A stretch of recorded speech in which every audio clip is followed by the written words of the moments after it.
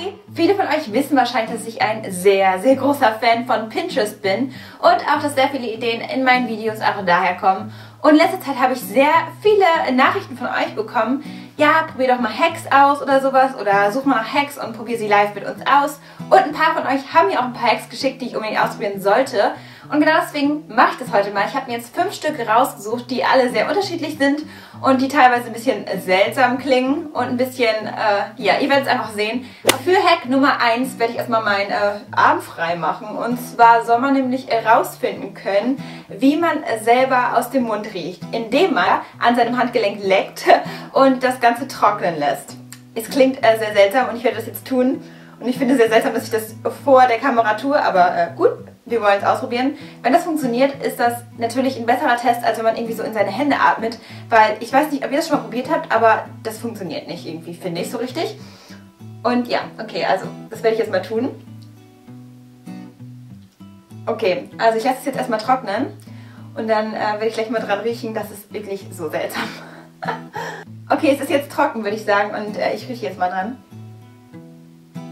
Hm, also ich würde sagen, das stimmt, weil ich habe mir vorhin vielleicht vor einer halben Stunde die Zähne geputzt und äh, ja, es riecht noch so ein bisschen nach Zahnpasta und wenn ich selber so in meine Hände atme und es rieche, dann riecht die Zahnpasta nicht mehr so. Deswegen, ja, ich muss sagen, ich glaube, der Hack ist cool und äh, wenn man mal eine ruhige Minute hat, kann man das gerne mal machen. Vielleicht in der Öffentlichkeit würde ich jetzt nicht unbedingt mein Handgelenk lecken, aber ansonsten, cooler Hack.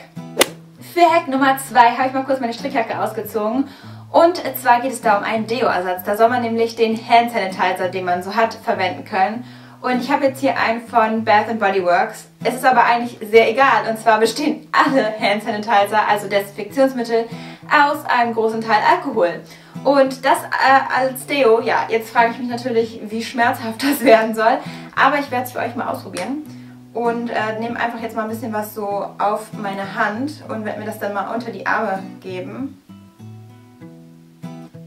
Oh mein Gott, oh, oh, das brennt richtig krass. Also, ja. Okay, also es, äh, okay, es lässt relativ schnell wieder nach. Auf dem ersten Blick, beziehungsweise am Anfang, äh, brennt es schon ziemlich krass. Oh, es fühlt sich auch an, als würde es rot werden. Oh, es ist auch direkt hier rot. Ich weiß nicht, ob man das... Ja, man kann es, glaube ich, auch direkt erkennen. Es ist voll rot geworden. Das habe ich mir ehrlich gesagt schon gedacht, dass dieser Hack absolut nichts ist. Also ich habe das in vielen amerikanischen Videos gesehen und Leute, lasst es einfach. Hat man vielleicht nicht ganz so frisch rasierte Achseln, dann geht das vielleicht. Allerdings äh, halte ich das auch nicht für super gut. Also das muss schon wirklich die allerletzte Notlösung sein. Ansonsten ähm, tut es einfach nur weh, rot und nein. Also ich gebe dem Hack einfach mal einen Daumen runter.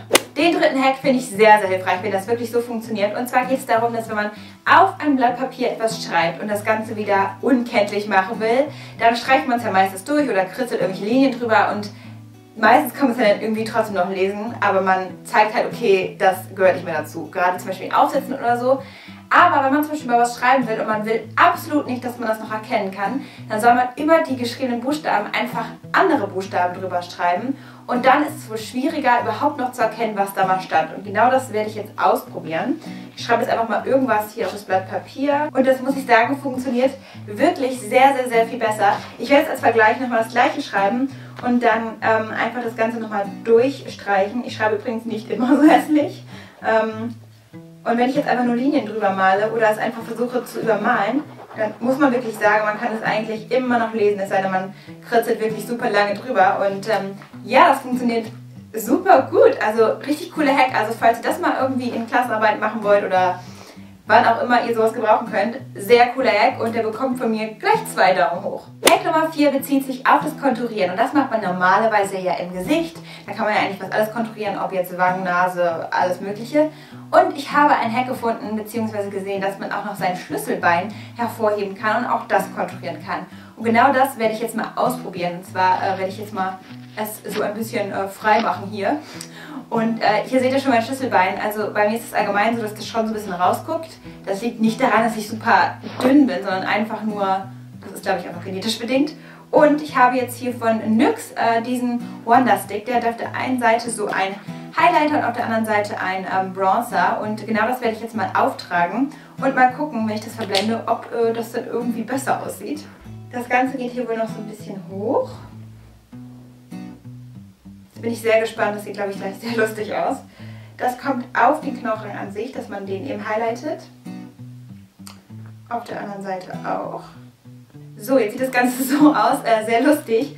Und das werde ich jetzt mal verblenden. Okay. Oh, oh, seht ihr das? Obwohl es relativ... Oh, krass, es sieht wirklich sehr hervorgehoben aus. Okay, ich bin gerade jetzt schon sehr überrascht. Ähm, ich finde, man sieht es extrem. Man sieht, dass es total hervorgehoben ist. Es sieht anders aus. Ist jetzt die Frage, ob man darauf äh, Lust hat und ob man cool findet, wenn das noch so ein bisschen mehr hervorsteht. Gerade wenn ich mich dann noch ein bisschen so nach vorne lehne, sieht man es wirklich extrem. Und ja, also ich glaube, dass man gerade bei so schulterfreien Kleidern oder so das wirklich sehr gut machen kann. Und wenn man das ein bisschen übt, dann kann es glaube richtig cool aussehen. Ich weiß nicht, ob ich da jetzt so Profi drin bin, aber ja, es sieht, ähm, finde ich, eigentlich ganz cool aus und der Hack bekommt auch auf jeden Fall einen Daumen nach oben. Für Hack Nummer 5 werde ich mich jetzt mal so umdrehen und zwar geht es um meinen Zopf. Den soll man nämlich so ein bisschen pushen können, so ein bisschen höher machen können, indem man äh, zwei Bobbypins nimmt und die vertikal ähm, in den Zopf oben steckt und das werde ich jetzt mal tun. Ich hoffe, ihr könnt es irgendwie erkennen. Äh, auf jeden Fall bin ich jetzt sehr gespannt. Man soll erstmal den Zopf so nach ähm, über Kopf legen und dann bei dem Zopfgummi das praktisch so einfach nur reinstecken. Und dann hat man angeblich einen äh, gepushteren Zopf. Und oh ja, ich finde, man sieht es äh, direkt. Ihr seht, dass der viel höher ist und dadurch auch viel mehr Volumen hier hinten hat. Und ähm, ja, ich hoffe, man kann das irgendwie erkennen. Auf jeden Fall fühle ich schon, dass es ein extremer Unterschied ist.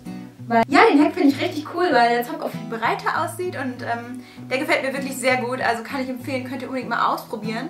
Das waren jetzt alle fünf Hacks und ich hoffe sehr, dass euch das mal gefallen hat, dass ich das einfach mal so live vor der Kamera getestet habe.